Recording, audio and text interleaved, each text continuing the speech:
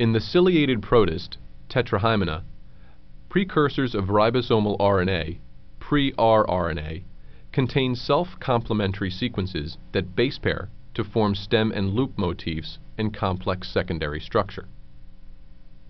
Other portions of the molecule are complementary and allow for specific three-dimensional folding that remarkably aligns and catalyzes the removal of its own intron.